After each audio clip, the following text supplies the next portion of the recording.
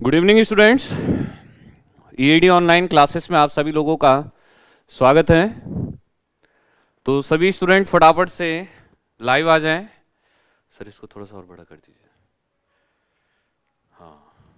ठीक है, सभी सभी स्टूडेंट फटाफट से लाइव आ जाएँ। और लाइव आते ही आप लोग वीडियो को लाइक करें शेयर करें। ठीक है टाइम चेंज नहीं हुआ है टाइम आपका वही है। छः बजे से आठ बजे तक आपकी क्लास रहती थी तो वही टाइम आपका भी है। ठीक है तो सभी स्टूडेंट सबसे पहले जैसे जैसे आप लोग लाइव बन रहे हैं, सबसे पहले आप लोग वीडियो को लाइक करें। क्यों? क्यों?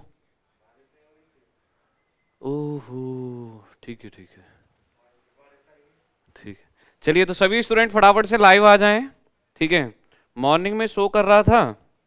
नहीं नहीं मॉर्निंग में शो कर नहीं रहा था। वो कुछ समझदार लोगों की वजह से जानबूझ के शो करवाया जा रहा था। वैसे वो शो कर नहीं रहा था। ठीक है? चलिए। गुड इवनिंग गुड इवनिंग हाँ भाई बर्थडे निकल चुका है। धन्यवाद आप सभी लोगों का।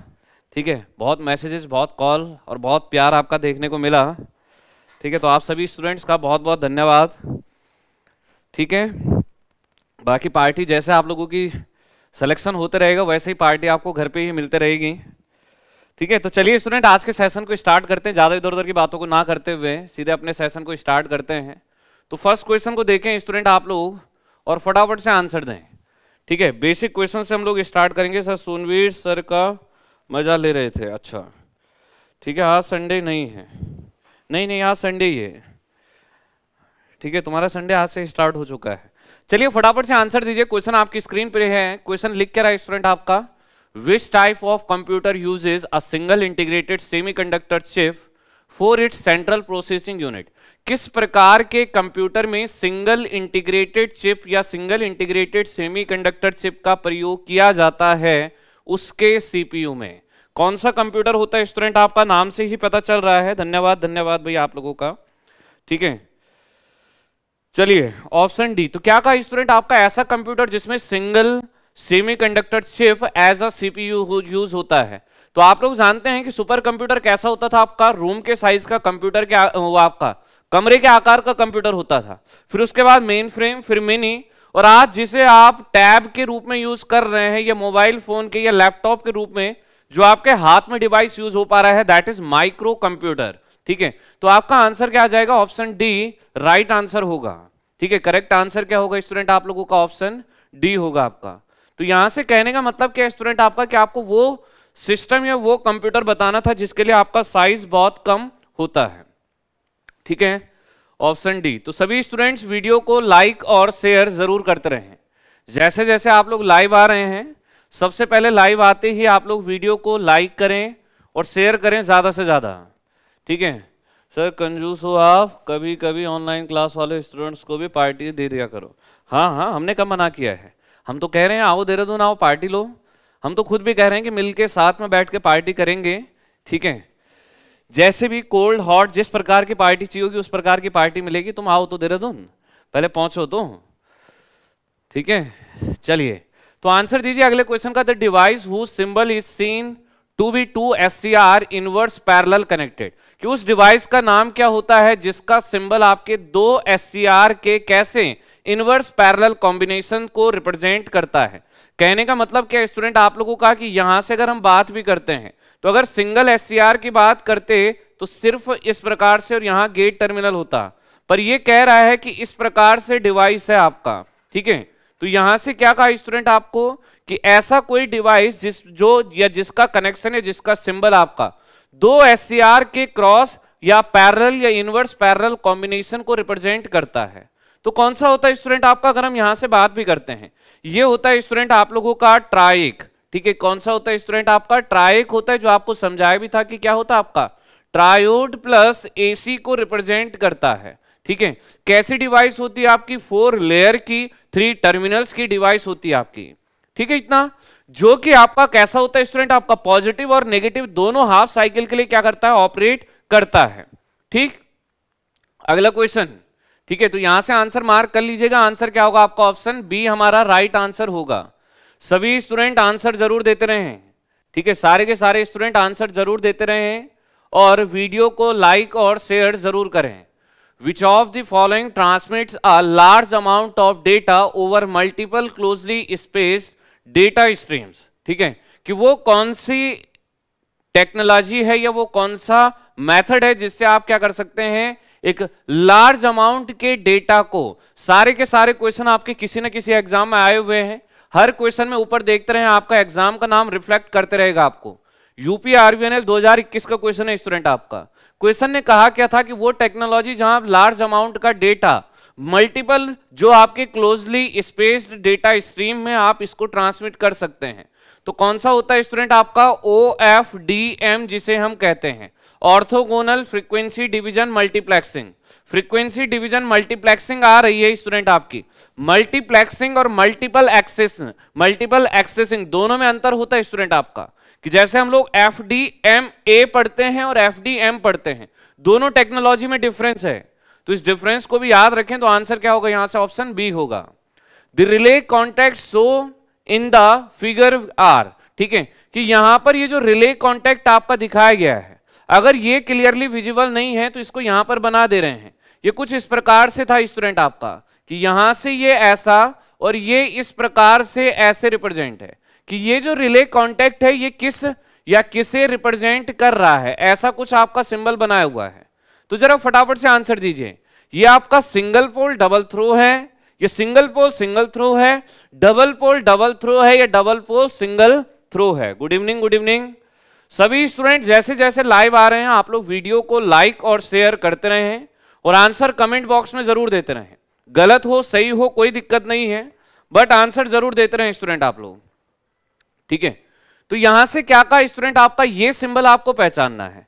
तो सबसे पहले अगर हम बात करते हैं सिंगल पोल डबल थ्रो की तो सिंगल पोल होगा स्टूडेंट आप लोगों का तो यहाँ से कैसे होगा कि ये इस प्रकार से सिंगल पोल और थ्रो यहाँ पर डबल कह रहा है। ठीक है? तो ये इस प्रकार से हो जाएगा।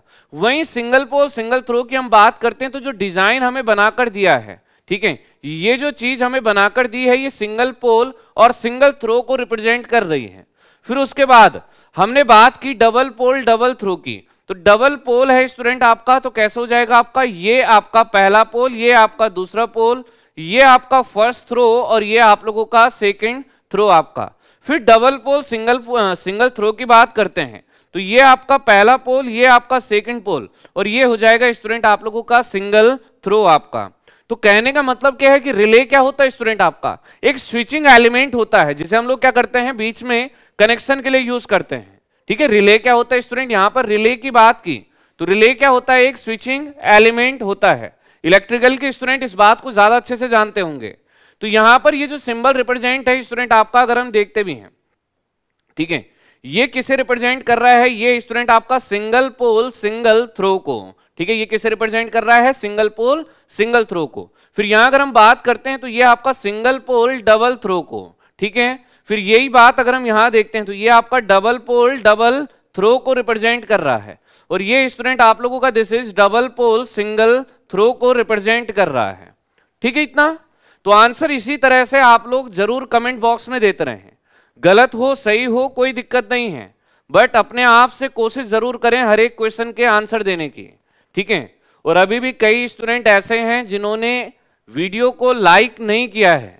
तो लाइक करें वीडियो को और ज़्यादा से ज़्यादा शेयर करें। What are the characteristic of a coaxial cable कि कोएक्सियल केबल की क्या कैरेक्टरिस्टिक होती है, या क्या प्रॉपर्टी होती है? It has twisted pair with sealed ठीक है? या it has centre conductor covered with a insulator then buried or solid outer conductor and then insulation it has heavier insulation than most cables it has vulnerable to high frequency interference तो जरा फटाफट से answer दें आप लोग option A और B में answer जा रहा है देखिए आंसर वेरी करने लग गया अब आप लोगों का तो यहाँ सबसे पहले अगर हम लोग बात करें स्टूडेंट आपकी ठीक है तो कैसा स्ट्रक्चर होता है स्टूडेंट आप लोगों का अगर हम जनरली देखते भी हैं तो अगर हम एक कोएक्सियल केबल की बात करते हैं तो कुछ इस प्रकार का स्ट्रक्चर आप लोगों ने देखा भी होगा कि ये यहाँ से, ठीक है, और फिर यहाँ से इस प्रकार से ये आप लोगों का क्या होता है स्टूडेंट कोएक्सियल केबल का स्ट्रक्चर होता है। सबसे पहले अगर हम जनरल बात करते हैं स्टूडेंट यहाँ पर आपकी तो सबसे पहले क्या होता है कि जो आपका इंटरनल पार्ट होता है, वो क्या होता है स्टूडेंट आप लोगों का ये होता है सबसे पहले किसका कंडक्टर का? कि सेंटर में जो होता है स्टूडेंट, आप लोगों का वो क्या होता है आपका? कंडक्टर होता है।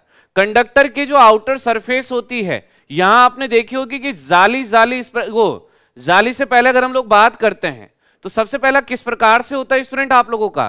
कि अगर हम जनरली बात भी करें तो कैसे होता है आपका? कि यहाँ पर एक क्या होता है आपका? इसे अगर हम लेकर भी चलें तो ये हमारी इस प्रकार से आपने देखा भी होगा कि ये क्या होता है? बीच में पहले इंसुलेटर होता है।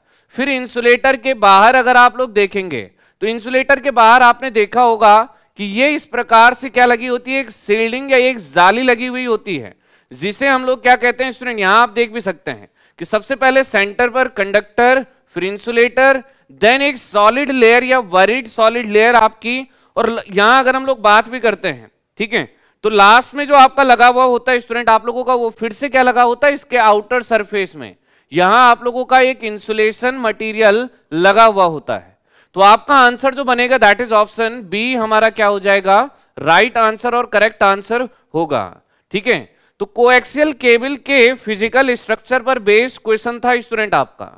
ठीक है? यहाँ पर ये जो क्वेश्चन था आपका कोएक्सियल केबल के फ़िज़िकल स्ट्रक्चर पर बेस्ड था। ठीक है इतना? तो सभी स्टूडेंट आज सभी क्वेश्चन का आंसर बी ही होगा। हाँ ठीक है? सारे क्वेश्चन का आंसर बी होगा, ऐसा किसी ने कहा नहीं है।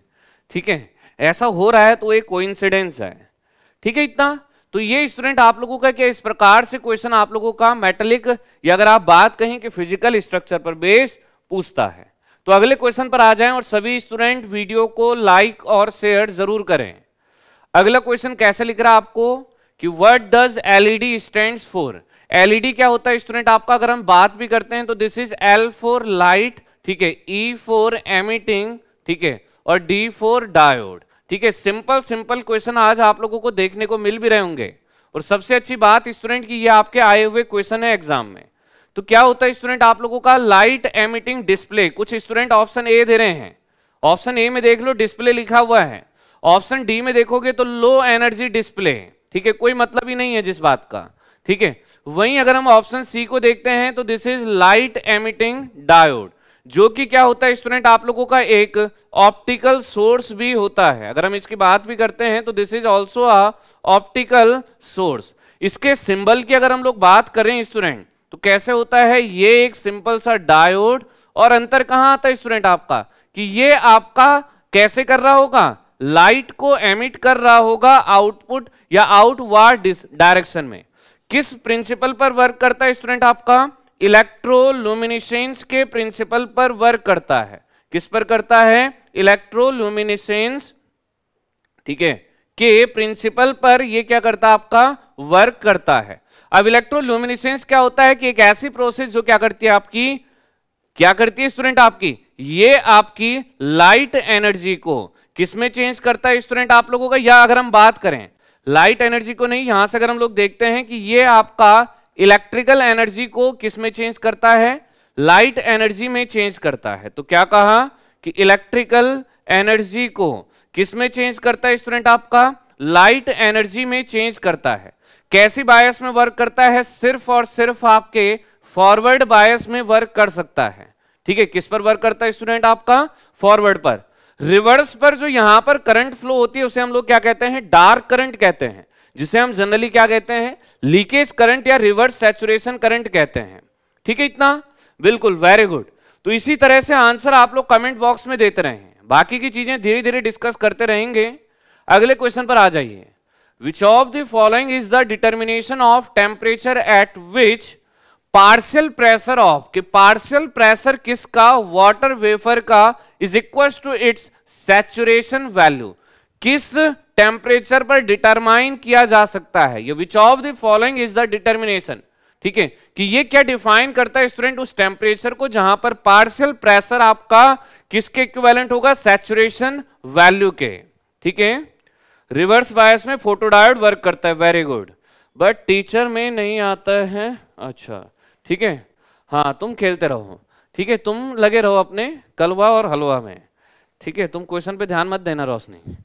ठीक है? चलिए, आम आदमी पार्टी भी यहीं पढ़ने आ गई। Photon current more than light current. अच्छा फोटोन करंट ऑप्शन ए। तो सभी स्टूडेंट आंसर देते रहे। कौन सा होता है स्टूडेंट आपका? ये होता आपका ओस, हिंदी में देखकर पता भी चल रहा है। Dew point measurement. ठीक है, कौन सा पॉइंट होता है स्टूडेंट आपका? That is dew point measurement, option A होगा। ऑप्शन डी, कंडक्टिविटी मेज़रमेंट है, जो कि आंसर नहीं होगा आपका। ठीक है करेक्ट आंसर जो होगा दैट इज़ ऑप्शन ए होगा। Next question which type of duplex communication is use in mobile phones कि मोबाइल फ़ोन में किस प्रकार का कम्युनिकेशन यूज़ होता है? ठीक है, ध्यान से देखिएगा कि मोबाइल फ़ोन में। तो मोबाइल फ़ोन में आप जानते हैं कि कुछ बात अगर आप यहाँ से कह रहे हैं तो इसका मतलब अगर आप किसी इंफॉर्मेशन को भेज रहे हैं, आपने कॉल किया, ठीक है तो अगर आपने सामने वाले से कुछ कहा इंफॉर्मेशन अगर आपने भेजी या इंफॉर्मेशन सेंड की तो सेम टाइम पर सामने वाला भी कुछ भी कह सकता है, आपको सुना सकता है और आप सुन भी सकते हैं। ठीक है? तो इंफॉर्मेशन सेंड भी हो सकती है और इंफॉर्मेशन आपकी रिसीव भी हो सकती है। और कैसे स्टूडेंट आप लोगों की?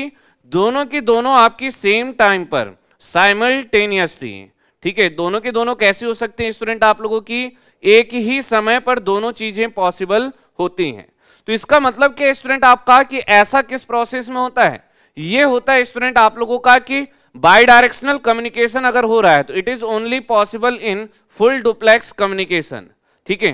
हाफ़ डुप्लेक्स जो होता है स्टूडेंट आपका, वो कौन सा होता है आपका? जिसे आप लोग वॉकी टॉकी कहते हैं, जो आपने नॉर्मली आर्मी या फोर्स के पास देखा होगा, पुलिस वालों के पास भी देखा होगा। जो आपने देखा होगा कि पुलिस में जो सिपाही होते हैं या जो ऑफिसर्स होते हैं, वो जनरली इसका यूज़ करते हैं, ठीक है? तो वहाँ आपने देखा होगा कि या तो उससे चैनल पर सुन रहे होंगे, या तो वो सिर्फ़ कह रहे होंगे। वो ऐसा डिवाइस जिससे आप एक ही टाइम पर सुन और बोल नहीं सकते तो कहने का मतलब भेज और रिसीव नहीं कर सकते हैं सेम टाइम पर। आई बात समझ में? अगला क्वेश्चन, ठीक है? तो लक्ष्य बैच इलेक्ट्रॉनिक्स की क्लासेस स्टार्ट हो चुकी हैं आपकी, ठीक है? जिसमें जो प्रजेंटी सब्जेक्ट आपका चल रहा है डिजिटल इलेक्ट्रॉनिक्स में हैमिंग कोड का क्वेश्चन आज भी हमने प्रैक्टिस किया था सिग्नल एंड सिस्टम में, ठीक है? हम लोग सिग्नल मल्टीप्लीकेशन को आज किए थे बेसिक इलेक्ट्रिकल में आपका इंट्रोडक्टरी पार्ट चल रहा है, ठीक है? हिंदी आप लोगों की चल रही है स्टूडेंट ठीक है? इसी प्रकार से आप लोगों का ह्यूमन वैल्यूज़ की क्लास चल रही है ठीक है? और साथ के साथ आपका रिन्यूएबल एनर्जी रिसोर्सेज की क्लासेस भी आपकी चल रही हैं।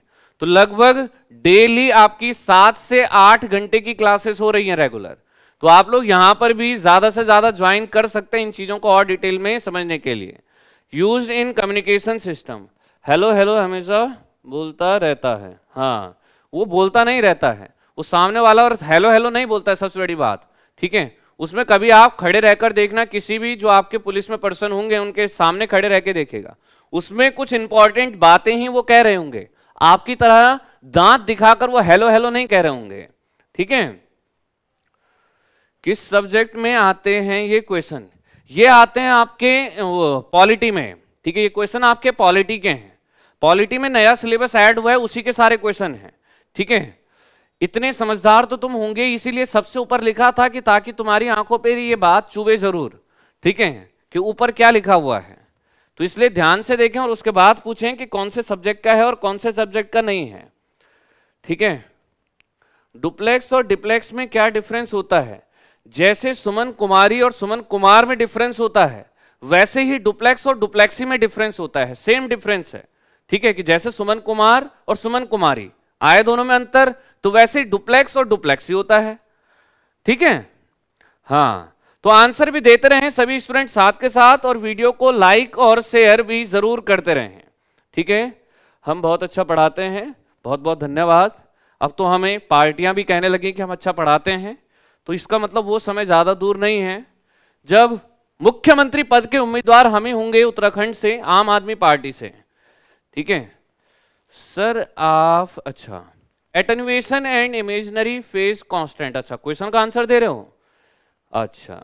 ठीक है तो देखिए क्वेश्चन क्या लिख रहा है आपका कि real part of propagation constant source तो सबसे पहली बात कि रियल और इमेजनरी तो तब बताया जाएगा जब पहले हमें गुड इवनिंग गुड इवनिंग ठीक है? जब हमें क्या पता होगा कि एटेन्युएशन कांस्टेंट रिप्रेजेंट कैसे होता है।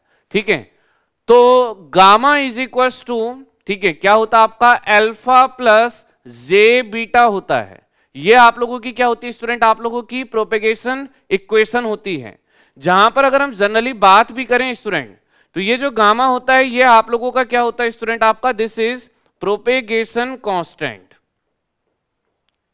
ठीक है, ये क्या होता है स्टूडेंट आप लोगों का दिस इज़ प्रोपेगेशन कांस्टेंट ठीक है, फिर अगली बात जब हम करते हैं स्टूडेंट तो यहाँ पर अल्फ़ा को अगर हम दो देखते हैं तो ये होता है स्टूडेंट आपका एटन्युएशन कांस्टेंट ठीक है, ये क्या होता है आपका? एटन्युएशन कांस्टेंट होता है। और ये इस इक्वेशन का क्या स्टूडेंट आपका? रियल पार्ट भी है। ठीक है, ये क्या आपका? रियल पार्ट है। भाई इमेजनरी पार्ट कौन सा होगा? जहाँ पर जे होगा या आइटा होगा, कोई ऐसा टर्म होगा इमेजनरी का। तो यहाँ से अगली बात आती है कि बीटा क्या होता है स्टूडेंट आपका? ये होता आपका फ़ेज़ कांस्टेंट ठीक है, ये क्या स्टूडेंट आपका? फ़ेज़ कांस्टेंट है। या आप कह सकते हैं ठीक है, यहीं से अगर हम कहें भी तो क्या कह सकते हैं आप लोग? इसी बात को आप क्या लिख सकते हैं कि ये आपका क्या स्टूडेंट आप लोगों का इसी प्रकार से जब आप देखोगे तो this is also a imaginary part कि ये क्या होता है, आपका इमेजनरी पार्ट होता है। और कैसे इंडिकेट होता है? कई बार इस पर बेस क्वेश्चन भी देता है। तो टू पाई बाई लैमडा इसका क्या होता है? फॉर्मूला भी होता है। जहाँ पर लैमडा की बात करते हैं तो तरंग दैर्ध्य या वेव लेंथ को इंडिकेट करता है। तो बेसिक फिजिक्स का क्वेश्चन है जनरली अगर आप देखोगे, ठीक है, क्या होता है आप लोगों का? बेसिक फिजिक्स का क्वेश्चन है। क्या चल रहा है ये?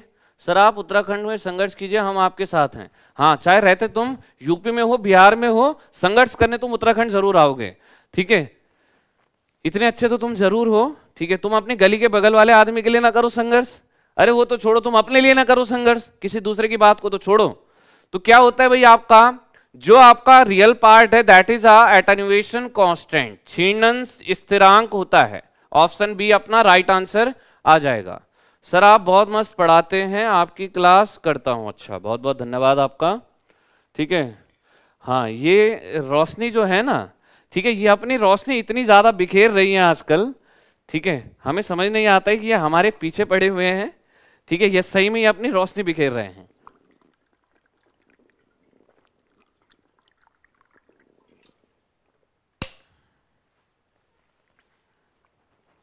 ठीक है? कभी कभी मेरा मन पता क्या करता है इनसे पूछने को? जैसे वो मूवीज़ इन्हें पूछता है। पूछते हैं जैसे, कि तुम्हें मुझसे प्रॉब्लम क्या है? तो मुझे भी इनसे यही क्वेश्चन पूछने का मतलब मन करता है, कि एक तो हो गया ये कलवा, इनके नाम से तो हमारे दिमाग में हलवा ही आता है वैसे, कि तुम्हें प्रॉब्लम क्या है? ठीक है? सर डुप्लेक्सर और डिप्लेक्सर में क्या डिफरेंस है? बता दीजिए ना। तो बताए तो अभी। कहा तो। ठीक है, अभी थोड़ी देर पहले बताया तो था प्लेलिस्ट बनाइए। प्लेलिस्ट बनी हुई है भाई। हम भी आपके पड़ोसी हैं। ना, ऐसे पड़ोसी नहीं चाहिए हमें। ऐसे पड़ोसियों को चुपके से पत्थर मारे जाते हैं। याद रखना। ठीक है, अगले क्वेश्चन का आंसर दें भाई। अच्छे गुरु किस्मत वाले भगवान के लिए अच्छे। हाँ हैप्पी बर्थडे बहुत बहुत धन्यवाद आपका। ठीक है। ठीक है, चलो भाई आंसर भी देते रहो जरा और सभी स्टूडेंट्स वीडियो को लाइक और शेयर ज़रूर करें। ठीक है?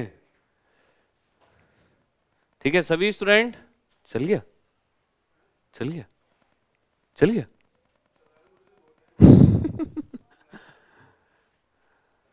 ठीक है, चलिए भाई आंसर देते रहे हैं। देखिए। Name the transit three leads of the common transistor कि कॉमन ट्रांजिस्टर की जो तीन लीड होती हैं तो बस यही रह गया जीवन में बताने को कि इसरो के एग्ज़ाम में ऐसा भी क्वेश्चन पूछा गया था।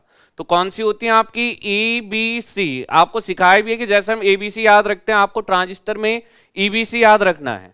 ई e इंडिकेट करता आप लोगों का एमीटर को। ठीक है, ये क्या इंडिकेट करता है स्टूडेंट आपका? This is emitter B represents base ठीक है, और सी रिप्रेजेंट करता आपके कलेक्टर को। ठीक है सी क्या होता है स्टूडेंट आपका?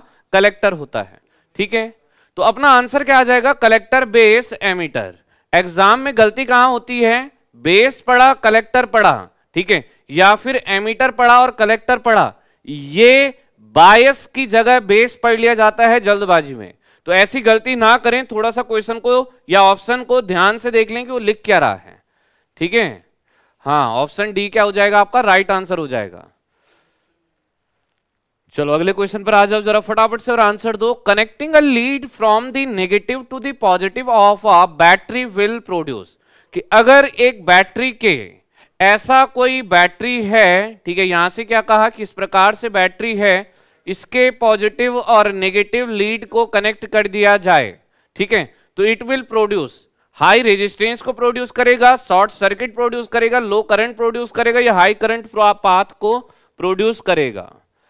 ठीक है, कलेक्टर सबसे बड़ा होता है हाँ।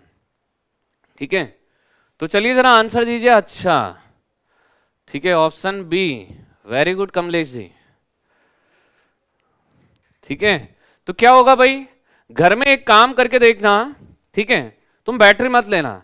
ऐसा करना और कोशिश करना कि मोटी वायर लेना, पतली भी मत लेना, ठीक है? स्विच के दोनों एंड पर सेम वायर को डाल देना। देखना कैसा धमाका होता है। पूरी दीपावली एक ही दिन में याद आ जाएगी, ठीक है?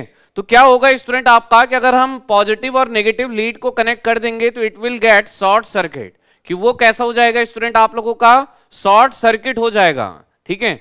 कुछ लोगों के दिमाग में हाई रेजिस्टेंस आ रहा है, ठीक है? तो भाई साहब हाई रेजिस्टेंस होता ना अगर तो ये ओपन सर्किट हो जाता। तुम्हें लगता है स्विच पे जरा सेम वायर को लगा के देखना, क्या वो ओपन सर्किट होगा? धमाका होगा तगड़ा। क्यों धमाका होता है? क्योंकि एक बहुत माइनर ड्यूरेशन के लिए एक हाई करंट फ्लो कर जाता है। और हाई करंट के कारण ही वहाँ पर एक स्पार्किंग या आप कह सकते हैं कि शॉर्ट सर्किट जिसे हम कहते हैं, ठीक है? अगला क्वेश्चन तो बेसिक सा क्वेश्चन है, फटाफट से आंसर दें। इसरो के एग्ज़ाम में आया हुआ क्वेश्चन है। तो two resistors are placed in series कि अगर दो रजिस्टर सीरीज़ में रखे गए हैं तो भाई दो रजिस्टर सीरीज़ में हैं तो ओवरऑल जो रेजिस्टेंस आएगा, वो कैसा आएगा? दोनों का एल्जेब्रिक सम आएगा। तो इसका मतलब जो ओवरऑल रेजिस्टेंस आएगा, वो कैसा आएगा स्टूडेंट आपका बढ़कर वैल्यू आएगी। तो इस क्वेश्चन में कुछ बताने लायक नहीं है ऑप्शन ए आपका आंसर हो जाएगा। ये क्वेश्चन अच्छा है। जरा पहचानो ये घड़ी की तरह जो दिख रहा है, ये क्या इंडिकेट कर रहा है? ठीक है? हाँ हाई करंट भी होनी चाहिए। बहुत बढ़िया। ठीक है? हाई करंट तो ऐसे बोल रहे हो ना कि जैसे करंट वहाँ दौड़ते रहती होगी। ठीक है? इतने माइनर सेकंड के लिए होती है कि आप डिफाइन भी नहीं कर सकते हो कि करंट थी कितनी। जरा ये बताइए कि ये क्या चीज़ को इंडिकेट कर रहा है? ठीक है? क्या लिख रहा है कि identify the name of the instrument shown in the figure ऐसा क्वेश्चन अक्सर एग्ज़ाम में एग्जैक्टली exactly बनाकर दिया हुआ था कि ये किसे रिप्रेजेंट कर रहा है? ऑप्शन ए और B sir this class PDF actually अभी इस क्लास का पीडीएफ कहीं पर भी नहीं जा रहा है। ठीक है? सर मैंने टेक्निकल टीम अच्छा निकल गया कमेंट तो जरा आंसर दीजिए, ये क्या इंडिकेट कर रहा है भाई?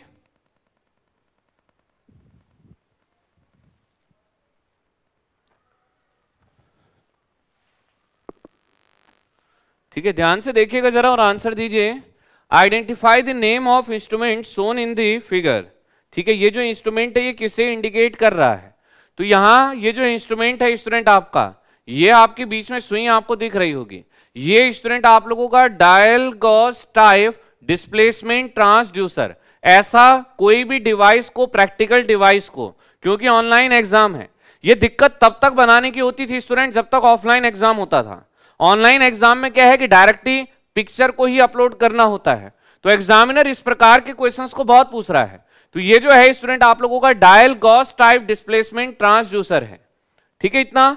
कैविटी टाइप का भी जो प्रेशर ट्रांसड्यूसर होता है, वो भी कुछ इसी प्रकार का, इसी सेव का इस प्रकार से होता अगर हम लेकर भी चलें कि यहाँ से अगर हम जनरली बात भी करते हैं तो कुछ ऐसे ही सेव का आपका होता है। ठीक है?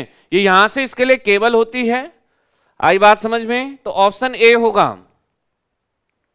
अगला question which of the following is not related to the tachometer control system में भी पढ़ा होगा और इलेक्ट्रिकल के स्टूडेंट तो इस टर्म से बहुत ज़्यादा फैमिलियर होंगे। बाकी इंस्ट्रूमेंट में भी पढ़ा होगा। अच्छा धन्यवाद रफ्तार जी आपका। ठीक है? ऐसा ना हो कि आपके हाथ थक जाएँ इस बात को लिखते लिखते ठीक है? तो हाथ को थकाना तो ज़रूर है, पर क्वेश्चंस को करने में। ठीक है very very good evening Purti ban. अच्छा और तो कोई इन्हें दिखाई नहीं क्लास में, कोटा दिनेश जी को? बस इन्हें, इनकी पूर्ति बहन दिखी। इतने बड़े इंसान सामने खड़े वो ना दिखे। चलिए जरा, फटाफट से आंसर दीजिए, क्या आंसर होगा? ठीक है, क्या लिख रहा है आपका कि which of the following is not related to tachometer कि टैकोमीटर से रिलेटेड निम्न में से कौन है? टैकोमीटर आप लोगों का, जब आपका रोटेशन में होता है कोई भी मशीन आपका, उसकी रोटेशनल स्पीड को कैलकुलेट करने के लिए, उसकी रोटेशनल स्पीड को मेजर करने का काम करता है। और दूसरी बात, किसमें मेजर करता है आप लोगों का? रोटेशन पर मिनट में, आरपीएम में आपका मेजर करता है। ठीक है? रिवॉल्यूशन जब किसी में होता है, ठीक है? डिवाइस स्टेशनरी नहीं होगा, तब आपका काउंट करता है। ठीक इतना? अब बात आई आप लोगों की फोर स्ट्रोक की। तो फोर स्ट्रोक तो डायरेक्टली कहाँ लेकर चल गया? आपका इंजन की तरफ़ लेकर चल गया। जबकि यहाँ इंजन की बात नहीं हो रही थी। यहाँ पर रोटेटिंग मशीन की बात हो रही थी। तो अपना जो आंसर आएगा, हमें क्या बताना था? नॉट रिलेटेड बताना था कि कौन सा रिलेटेड नहीं है। तो कौन सा रिलेटेड नहीं है स्टूडेंट आपका ऑप्शन सी राइट आंसर हो जाएगा। ठीक है इतना? Sir what is the meaning of option C option C four stroke two stroke engine आपने पढ़े होंगे बेसिक मैकेनिकल में। सर रिकॉर्डेड में बोरिंग लाइट थी बट लाइव में गुड सेंस ऑफ़ ह्यूमर है। मतलब? चलिए, अगले क्वेश्चन पर आ जाइए और आंसर देते रहे। हैं ठीक है, सभी स्टूडेंट आंसर देते रहे हैं और वीडियो को लाइक और शेयर ज़रूर करते रहे। हैं और जितने भी नए स्टूडेंट हैं, आप लोग चैनल को सब्सक्राइब ज़रूर करें भाई। ठीक है? तो अगले क्वेश्चन पर आ जाइए in which of the following is the lint considered ठीक है यूपीआरवीएनएल 2021 का क्वेश्चन है कि निम्न में से किसके लिए लिंट क्या होता है?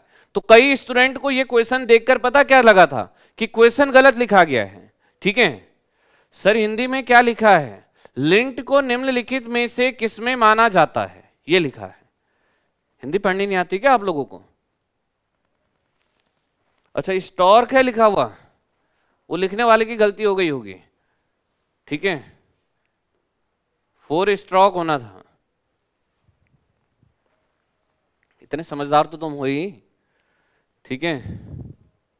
चलो भाई, जरा आंसर दीजिए। गुड इवनिंग गुड इवनिंग क्या लिख रहा है? क्वेश्चन आपका कि लिंट इज़ कंसीडर्ड एज तो आपका प्रोग्रामिंग से बेसिक ऑफ़ प्रोग्रामिंग से क्वेश्चन था स्टूडेंट आपका।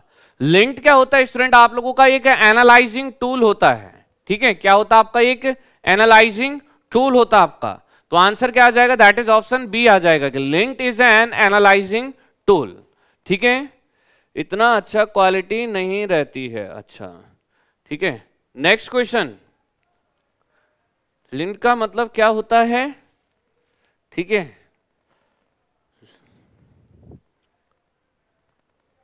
चलिए फटाफट से आंसर दीजिए। सभी स्टूडेंट आंसर देते रहे और वीडियो को लाइक और शेयर ज़रूर करते रहे। बेसिक बेसिक क्वेश्चन, अगला क्वेश्चन जो आपका है वो इसरो का है। क्वेश्चन लिख रहा है कि which is not a common value of resistance तो जरा आंसर दीजिए। देखते हैं इस क्वेश्चन का आंसर क्या आता है। मेरा सही था हाँ अच्छी बात है। जरा फटाफट से आंसर दीजिए एनालाइजिंग टूल ठीक है, क्या होता है भाई? Which is not a common value of resistance resistance का कॉमन वैल्यू कौन सा है?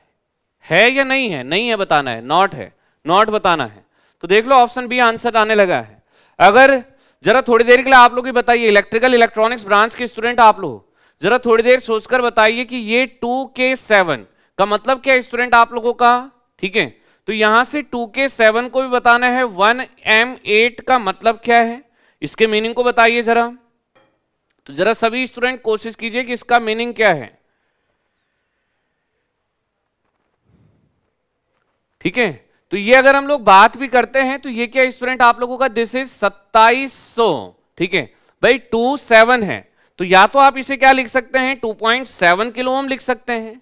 इसी बात को आप कैसे लिख सकते हैं? या तो आप two point seven kilo ohm लिख लीजिए, या फिर क्या आएगा? सत्ताईस सौ ओम आएगा।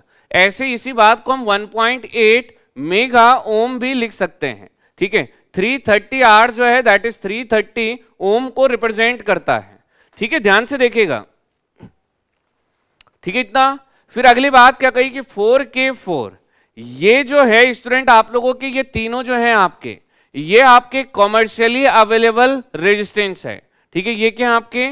मार्केट में जो रेजिस्टेंस अवेलेबल होते हैं, ठीक है? क्या कहा आप लोगों का? मार्केट में जो स्टैंडर्ड अवेलेबल रेजिस्टेंस है, उनकी वैल्यूज़ रिप्रेजेंटेड है।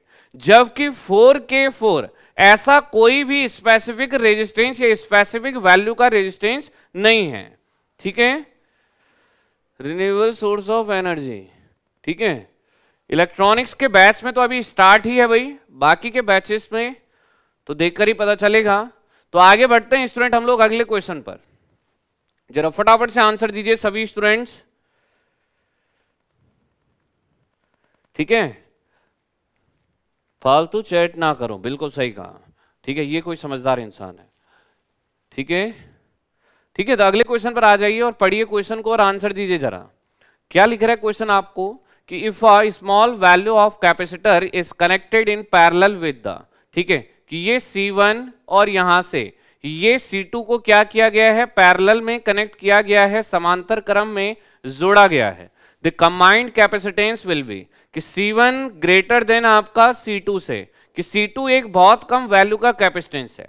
पैरेलल में हम लोग जानते हैं स्टूडेंट कि जो आपका इक्विवेलेंट कैपेसिटेंस आएगा that is equal to C one plus C two दोनों का क्या होगा आपका? ये तीनों का, चारों का जितनी भी ब्रांचेज हैं एल्जेब्रिक सम होगा। तो जो आपका ओवरऑल कैपेसिटेंस आपका निकल कर आएगा, वो कैसा आएगा? हमेशा हाई वैल्यू का आएगा। जैसे रेजिस्टेंस में सीरीज़ का केस होता है, वैसे ही कैपेसिटेंस में आपका पैरेलल कॉम्बिनेशन का केस होता है। ठीक है? चलिए। नेक्स्ट क्वेश्चन पर आ जाइए और ध्यान से देखिए। काले रंग में दिखाए गए प्रतिरोधक को कहते हैं। तो अगर सही से ना दिख रहा हो तो ये आपको बनाकर भी दिखा देते हैं कि ये इस प्रकार से इस रेजिस्टेंस की बात कर रहा है, ठीक है? ये हमारा क्या है यहाँ पर? ट्रांजिस्टर सर्किट है। ये हमारा क्या है यहाँ से? आउटपुट है, ठीक है? फिर यहाँ से अगर हम लोग देखते हैं तो एक रेजिस्टेंस ये इस प्रकार से कनेक्टेड है और एक आप लोगों का नीचे कनेक्टेड है यहाँ। तो अब हमसे क्या पूछ रहा है स्टूडेंट आपका? इस रेजिस्टेंस की बात कर रहा है कि ये जो रेजिस्टेंस है, ये क्या इंडिकेट करता है, ठीक है? न्यू ऑफलाइन बैचेस आपके मार्च से स्टार्ट होंगे भाई। ठीक है, सारी ब्रांचेस के लिए वो मार्च से स्टार्ट होंगे। तो ऑप्शन बी आंसर दे रहे हैं काफ़ी स्टूडेंट कि एमीटर फीडबैक रजिस्टर है। ठीक है, जरा सभी स्टूडेंट आंसर दें। ऑप्शन सी भी आंसर आने लगा है। ठीक है तो अपने को क्या बताना है स्टूडेंट आपका ये ब्लैक सेडेड रजिस्टर बताना है कि ये क्या इंडिकेट कर रहा है। अगर हम इस सर्किट का एसी एनालिसिस करते हैं तो हम लोग जानते हैं कि डीसी सोर्स क्या हो जाएगा? ग्राउंड तो ये जो रेजिस्टेंस है, ये कहाँ कनेक्ट हो जाएगा आपका? आउटपुट साइड में कनेक्ट हो जाएगा। और आउटपुट साइड में जो रेजिस्टेंस कनेक्टेड होता है, वो कौन सा होता है आपका? लोड रेजिस्टेंस होता है। तो इट मीन्स ये क्लियर है स्टूडेंट आपका। ये जो रेजिस्टेंस आप लोगों का कनेक्टेड है, ये क्या होगा स्टूडेंट आप लोगों का? लोड रजिस्टर होगा ऑप्शन डी आएगा। ना तो ऑप्शन बी आंसर है, ठीक है? और ना ही ऑप्शन सी आंसर है। बाईपास अगर होता आपका तो वो यहाँ होता। ठीक है एमीटर पर होता। वहीं अगर हम इसकी बात करते हैं तो ये आपका फीडबैक रजिस्टर है। और कैसा फीडबैक है, ये भी देख लीजिए कि कलेक्टर से कहाँ जा रहा आपका बेस पर। तो collector to base feedback register होता कौन? ये वाला। ये जो है स्टूडेंट आप लोगों का ये ध्यान रखिएगा। ये किसे इंडिकेट कर रहा है? यहाँ से अगर हम लोग लेकर भी चलते हैं। ये रिप्रेजेंट कर रहा है आपके लोड रजिस्टर को। ये क्या स्टूडेंट आप लोगों का दिस इज़ लोड रजिस्टर ठीक है, ये क्या रिप्रेजेंट कर रहा है आपके? लोड रजिस्टर को रिप्रेजेंट कर रहा है। तो चीज़ों को थोड़ा सा ध्यान से देखें और फिर आंसर उसी के हिसाब से देते रहे स्टूडेंट आप लोग। ठीक है? तो अगले क्वेश्चन पर आ जाइए, अगले क्वेश्चन को देखिए जरा और आंसर दीजिए। कोशिश कीजिए आंसर देने की। ठीक है? हाँ बेसिक बेसिक क्वेश्चन है और तब भी देखो गलती कर जा रहे हो। ठीक है तो चलिए अगले क्वेश्चन पर आ जाइए जरा। Which of the following is equivalent to the drain terminal of JFET when comparison with BJT ठीक है? तो हम लोग जानते हैं स्टूडेंट आपका कि बीजेटी हो, ठीक है? अगर हम यहाँ से बीजेटी लिखें और यहाँ हम लोग फ़ील्ड इफ़ेक्ट ट्रांजिस्टर लिखते हैं तो दोनों की दोनों कैसी होती है स्टूडेंट आपकी? थ्री टर्मिनल्स की डिवाइस होती हैं। बीजेटी की अगर हम लोग बात करते हैं तो बीजेटी का पहला टर्मिनल एमीटर फिर आपका बेस ठीक है? और फिर आप लोगों का कलेक्टर ठीक है? एनालॉजी का चार्ट आप लोगों को जब क्लास में चीज़ें पढ़ाई भी थी, तब भी बताया था। तो यहाँ से अगर आप देखेंगे भी स्टूडेंट आपका तो एमीटर जो होता है बेस तो हम लोग सभी लोग जानते हैं कि बेस किसके इक्विवेलेंट आता आपका? गेट के इक्विवेलेंट आता है। कलेक्टर की जब बात आती है तो किसके इक्विवेलेंट होता है आपका? ड्रेन के इक्विवेलेंट होता है। और एमीटर जो होता है वो किसके इक्विवेलेंट होता है आपका? सोर्स के इक्विवेलेंट होता है। तो यहाँ हम अपने क्वेश्चन का आंसर डायरेक्टली देख सकते हैं स्टूडेंट कि क्या आंसर बनेगा अपना। ठीक है, ये इस प्रकार से क्या एक दूसरे के एनालॉजियस होते हैं। एनालॉजियस कहने का मतलब स्टूडेंट आपका कि एमिटर इलेक्ट्रॉन्स को एमिट करता है तो यहाँ मेजोरिटी चार्ज कैरियर का सोर्स होता है। बेस हमारा चार्ज कैरियर के फ्लो को कंट्रोल करता है तो यहाँ गेट भी आपके चार्ज कैरियर के फ्लो को कंट्रोल करता है। कलेक्टर में क्या होता था? चार्ज कैरियर आपका स्टोर होता था, कलेक्ट होता था। और ड्रेन क्या करता है कि जो चार्ज कैरियर आ रहा है सोर्स से, उसे ड्रेन करने का या उसे बाहर निकालने का काम करता है। सर, बुक अवेलेबल और नॉट फॉर अभी अवेलेबल है। ठीक है, बुक अवेलेबल है, आप चाहें तो मंगा सकते हैं। ठीक है? तो अब यहाँ से आंसर क्या बनेगा स्टूडेंट? हमें पूछा क्या था? हमें पूछा था ड्रेन। तो ड्रेन किसके इक्विवेलेंट है? यहाँ आप देख सकते हैं कि drain is equivalent to the collector terminal, ठीक है? तो ये किसके इक्विवेलेंट होता है स्टूडेंट आप लोगों का। कलेक्टर टर्मिनल के इक्विवेलेंट होता है, ठीक है? आई बात समझ में? तो अगले क्वेश्चन पर आ जाइए और आंसर इसी तरह से देते रहे सभी स्टूडेंट ठीक है? जरा नेक्स्ट क्वेश्चन पर आइए। चलिए आंसर दीजिए जरा फटाफट से। ठीक है which of the following is the correct gain of the positive feedback amplifier तो आपने एम्पलीफायर में भी पढ़ी है ये बात और कंट्रोल सिस्टम में भी पढ़ी होगी, ठीक है, कि पॉजिटिव फीडबैक देने पर, ठीक है एम्पलीफायर का गेन कैसा हो जाता है? कुल मिलाकर कहने का मतलब क्या है? कि यहाँ से आपका ये इनपुट है, ठीक है, अगर हम लोग जनरली बात भी करें, ये आपका क्या था? यहाँ से अगर हम देखते हैं कि दिस इज़ इनपुट यहाँ से आप लोगों का ये क्या हो गया? दिस इज़ एम्पलीफायर ठीक है?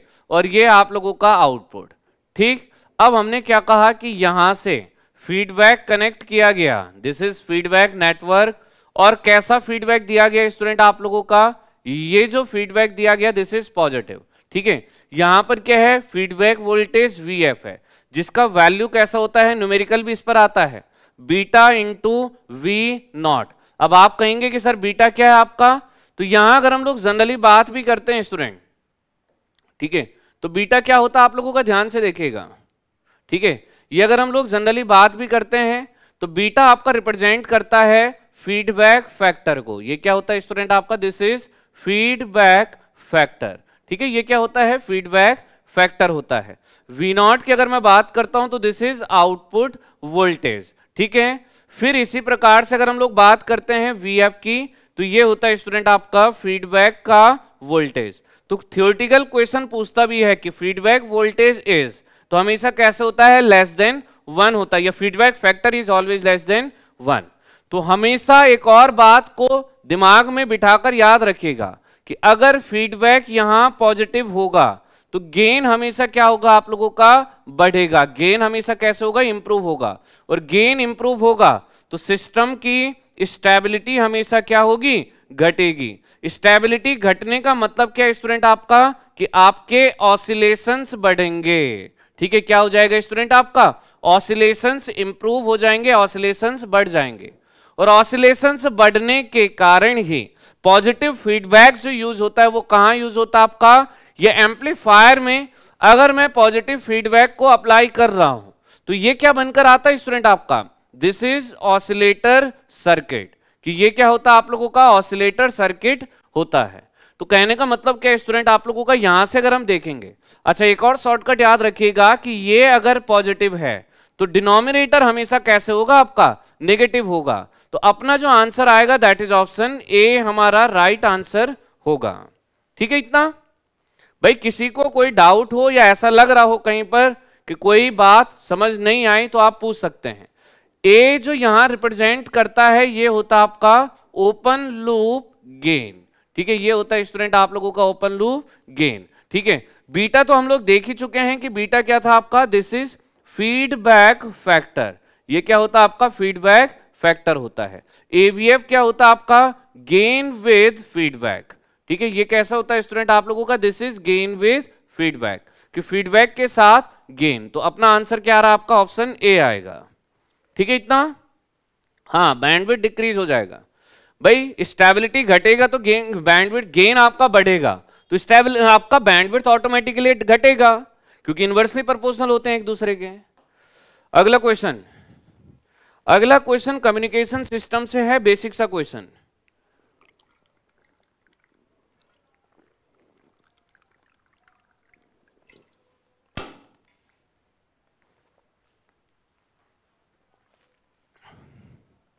हाँ। One plus A beta sacrifice factor होता है और ए इंटू बीटा सिर्फ़ पूछेगा तो ये लूप गेन होता है। ठीक है? चलिए अगले क्वेश्चन पर आ जाइए। सर बुक को परचेज कैसे करें? बुक को परचेज करने के लिए एक आपका यूपीआई आप कर सकते हैं या अकाउंट पे आप कर सकते हैं। वो पेमेंट करने के बाद वो रिसिप्ट और अपना फुल एड्रेस आपको एक नंबर पर व्हाट्सएप करना है। तो आप एक काम कीजिएगा, कल तो संडे है। मंडे को सुबह नौ बजे के बाद आप हेल्पलाइन नंबर पर कॉल कीजिएगा मैम आपको पूरा डिटेल दे देंगे। ठीक है? अच्छा ऑप्शन डी आएगा। वेरी गुड देखिएगा। What is the minimum sampling rate to avoid aliasing aliasing का मतलब होता है दो सिग्नल का ओवरलैप होना, एक दूसरे को ओवरलैप करना। तो एलाइजिंग को बचने के लिए, या एलाइजिंग से बचने के लिए हम लोग जनरली क्या करते हैं स्टूडेंट ओवर सैम्पलिंग को प्रिफर करते हैं। ठीक है? हम क्या प्रिफर करते हैं? ओवर सैम्पलिंग को। या फिर आप कह सकते हैं कि सैम्पलिंग थ्योरम आपकी सेटिस्फाई होनी चाहिए कि कम से कम जो सैम्पलिंग फ्रीक्वेंसी हो that is must be is exactly equal to twice of the maximum message signal frequency ठीक है? अब बात आती है कि सर मैसेज सिग्नल फ्रीक्वेंसी कैसे देखेंगे? हमारा सिग्नल कैसे अगर हम देखते भी हैं कि x of t is equal to ये स्टूडेंट आप लोगों का टेन कॉस ठीक है फोर हंड्रेड पाई टी, ये इक्वेशन गिवन है। और अगर हम यहीं से आपसे कहते हैं कि जो स्टैंडर्ड इक्वेशन होती है स्टूडेंट आपकी, ठीक है, अगर हम स्टैंडर्ड इक्वेशन की बात करते हैं किसी फ़ंक्शन के लिए एफ़ ऑफ़ टी के लिए तो ये कैसा आता है स्टूडेंट आपका? V m into cos of two pi f into t तो इसका मतलब क्या स्टूडेंट आप लोगों का अगर हम दोनों को कंपेयर करते हैं, ठीक है तो टू पाई एफ़ की जगह पर क्या है? फोर हंड्रेड पाई तो इसका मतलब क्या है आपका कि टू पाई एफ़ एम, जो आपकी message signal frequency that is equal to four hundred pi. और आप लोग चाहें तो डायरेक्टली टू एफ़ भाई पाई से पाई गया, और टू एफ़ एम तो हमें चाहिए है। तो ये कितना आ जाएगा? ये आप लोगों का सिंपल सैंपलिंग फ्रीक्वेंसी हो जाएगा। तो this is equal to four hundred hertz कितना आएगा स्टूडेंट आप लोगों का? दैट इज़ इक्वल टू चार सौ हर्ट्स आपका निकल के आएगा। तो ऑप्शन डी हमारा क्या हो जाएगा यहाँ से? राइट right आंसर हो जाएगा, करेक्ट आंसर हो जाएगा। तो सिंपल सा क्वेश्चन था, अगले क्वेश्चन पर आ जाइए। ठीक है, नेक्स्ट क्वेश्चन पर आ जाइए और फटाफट से आंसर दीजिए जरा। सभी स्टूडेंट आंसर देते रहे इस क्वेश्चन ने उड़ा दिया हमको। बेसिक सा क्वेश्चन था आपका। बैंडविड्थ होता है ना सर? बिल्कुल बैंडविड्थ होता है। किस केस में? अगर आपका सिग्नल ऐसा नहीं है, हम लोग स्टैंडर्ड के लेकर चलते हैं कि मैसेज सिग्नल ज़ीरो फ्रीक्वेंसी से स्टार्ट है। अगर क्वेश्चन आपको स्पेसिफाई कर देता कि सिग्नल ऐसे ना होकर आपका कैसे है, ये सिग्नल आपका लोअर फ्रीक्वेंसी भी गिवन कर देता आपको और हायर फ्रीक्वेंसी भी गिवन कर देता। तो उस स्थिति में ऐसा नहीं कि हम एफएम ही लेंगे। तब समझदारी दिखानी है। वो एफएम तो इसलिए था क्योंकि ज़ीरो से काउंट किया था। उस स्थिति में फिर हमें बैंडविड्थ कंसीडर करनी होती है। ठीक है? हम लोग क्या देखते हैं? मैक्सिमम बैंडविड्थ देखते हैं उस केस में। तो ये बातों को कुछ बातें ऐसी हैं जो आपको खुद से याद रखनी है ध्यान से। ठीक है? चलो जरा। अगले क्वेश्चन पर आ जाइए फटाफट से। ऑप्शन बी आंसर भी आ गया। क्या register with colour band red red red gold has the value ठीक है? ये आप लोगों का, पहला जो रेड है, ये आपकी सिग्निफिकेंट बिट को रिप्रेजेंट करेगा। ठीक है? फ़र्स्ट सिग्निफिकेंट बिट ये रिप्रेजेंट करेगा सेकंड सिग्निफिकेंट बिट को। ठीक है? फिर थर्ड जो रेड आपका, ये आपका मल्टीप्लायर होगा। और ये जो आप लोगों का है, ये आपकी टोलरेंस होगी। और गोल्ड के लिए हमें ऑप्शन से देखकर भी पता चल रहा है कि टोलरेंस कितनी होती है फाइव परसेंट की होती है। सिल्वर होता तो दस परसेंट हो जाती। कोई कलर नहीं होता तो बीस परसेंट हो जाती। अब रेड के लिए तो पूरा टेबल नहीं ले रहे हैं, सिर्फ़ कुछ वैल्यूज़ को लेंगे कि हमारे पास फॉर्मूला कैसे होता है? बी बी रॉय हैज़ तो इतने से ही हमारा काम हो जाएगा क्योंकि रेड रेड है सिर्फ़।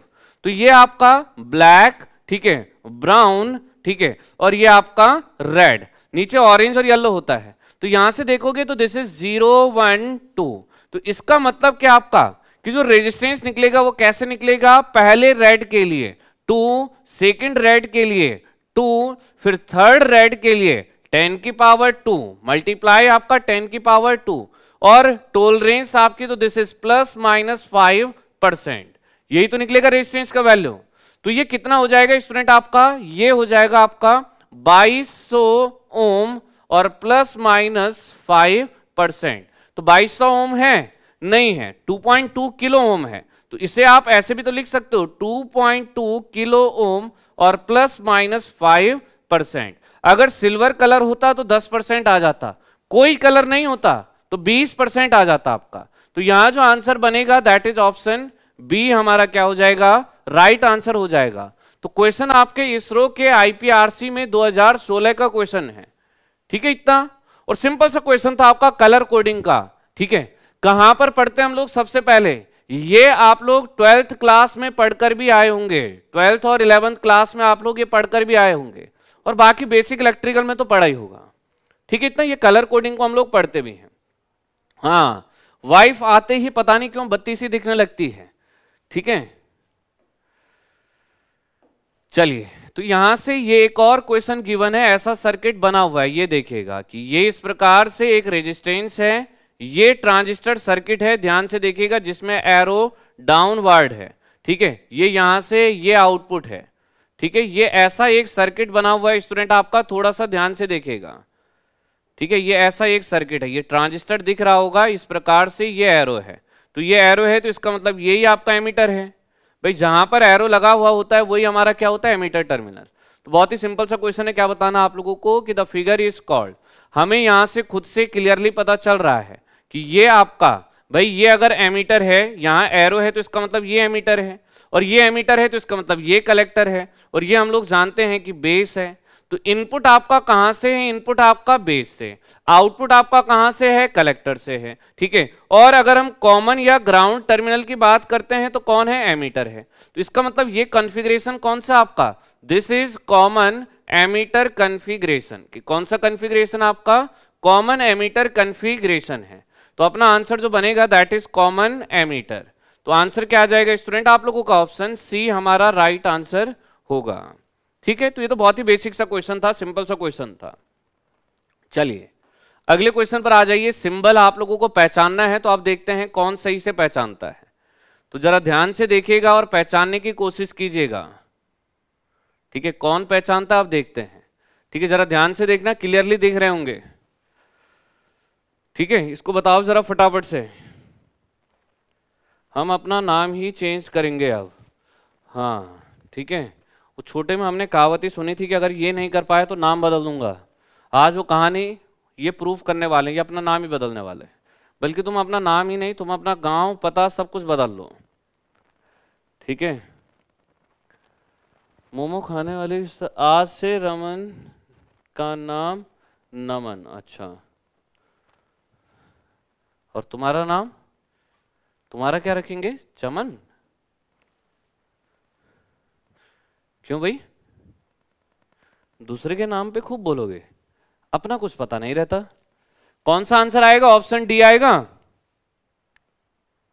ऑप्शन ए ऑप्शन डी जरा ध्यान से देखिए क्वेश्चन को आंसर देने की कोशिश कीजिए सभी स्टूडेंट ऑप्शन डी भाई, इसे देखकर तो साफ़ साफ़ पता चल रहा होगा कि ये क्या आपका? दिस इज़ कैपेसिटर ये तो क्लियरली विजिबल हो रहा है कि ये कैपेसिटर है। और जिन स्टूडेंट्स ने इलेक्ट्रॉनिक्स का जो पुराना कोर्स था वहाँ पर ये बात आपको पढ़ाई थी, ठीक है, भले इंट्रोडक्टरी पार्ट पढ़ाया था, पर ये सिंबल दिखाया था। ये किसका सिंबल था आपका? ये सिंबल था आपका माइक्रोफोन का, ठीक है, ये किसका सिंबल था आप लोगों का? दिस इज़ माइक्रोफोन तीसरी बात अगर हम लोग करते हैं तो ये देखकर आपको एक बात समझ आ रही होगी कि यहाँ से ये इस प्रकार से और ये एक रेजिस्टेंस है। तो ये सिंबल किसका होता था स्टूडेंट आप लोगों का? ये है हमारा पोटेंशियोमीटर का, ठीक है, ये किसका सिंबल था आपका? दिस इज़ पोटेंशियोमीटर और लास्ट बात अगर हम लोग करते हैं कि ये इस प्रकार से और ये यहाँ से, ये किसे रिप्रेजेंट करता है स्टूडेंट आप लोगों का? ये था आप लोगों का इलेक्ट्रोलाइटिक ठीक है, ये क्या स्टूडेंट आप लोगों का? दिस इज़ ठीक है, ये अगर हम लोग देखते भी हैं तो ये क्या स्टूडेंट आपका? इलेक्ट्रोलाइटिक ठीक है, ये आपका इलेक्ट्रोलाइटिक ठीक है तो इस हिसाब से अपना आंसर कौन सा बन रहा है? तो हमारा आंसर जो बनेगा कैपेसिटर ये गया, ठीक है, रजिस्टर गया, ठीक है, इलेक्ट्रोलाइटिक माइक्रोफोन रजिस्टर नहीं है यहाँ पर, ठीक है, फिर इलेक्ट्रोलाइटिक कॉयल नहीं है तो आपका लास्ट ऑप्शन डी बचता है तो चार ऑप्शन होंगे यहाँ पर तो ये आप लोगों का क्या आंसर आ जाएगा स्टूडेंट ऑप्शन डी हमारा राइट आंसर होगा, जो करेक्ट आंसर होगा दैट इज़ ऑप्शन डी होगा, ठीक है तो ध्यान से देखते रहें, हर एक क्वेश्चन को और समझने की कोशिश ज़रूर करें। For high efficiency of power transfer in a circuit कि सर्किट में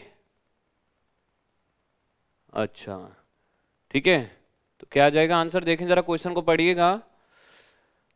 कि एक सर्किट में हाई पावर एफिशिएंसी में required which of the following is correct condition with internal resistance of the source internal resistance जो सोर्स का होना चाहिए, वो कैसा होना चाहिए? ठीक है? तो जरा फटाफट से आंसर दीजिए कि इंटरनल सोर्स जो होना चाहिए वो कैसा होना चाहिए। वेरिएबल रजिस्टर भी बोल सकते हैं। किसको? किसको बोलना है variable register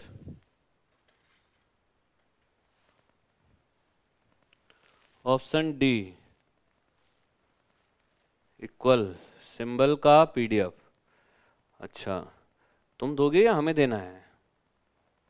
ठीक है ऑप्शन डी तो क्या स्टूडेंट आपका यहाँ पर अगर हम लोग बात करते equal to the load res तो क्या का स्टूडेंट आपका हाई पावर एफिशिएंसी की एक सर्किट के लिए बात की? ये कब आएगी स्टूडेंट आप लोगों की? जब आपका लोड रजिस्टर और सोर्स रजिस्टर कैसा होता है आप लोगों का इक्वल होता है।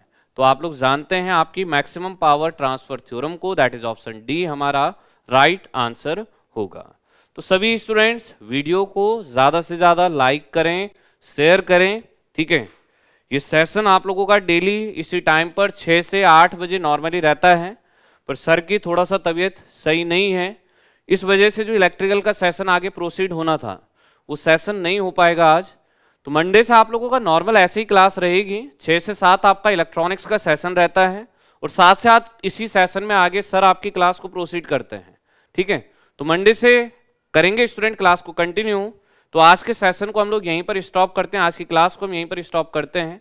आप लोग ज़्यादा से ज़्यादा शेयर करें लाइक करें और क्वेश्चंस को एक बार करने की कोशिश ज़रूर करें। ठीक है? बर्थडे आप लोगों ने, काफ़ी लोगों ने विश किया था। काफ़ी स्टूडेंट का शायद हो सकता अभी भी हम रिप्लाई नहीं कर पाए होंगे, क्योंकि आप लोगों का मैसेज आप लोगों की कॉल्स इतनी ज़्यादा थी कि हर एक स्टूडेंट का रिप्लाई करना पॉसिबल भी नहीं हो पा रहा था। तो इसके लिए यहाँ पर आप सभी स्टूडेंट का बहुत बहुत धन्यवाद भी। ठीक है? इतना प्यार देने के लिए, इतनी विशेष देने के लिए। बाकी बातों को डिस्कस करते हैं अगली क्लास में तो आज के लिए थैंक यू स्टूडेंट्स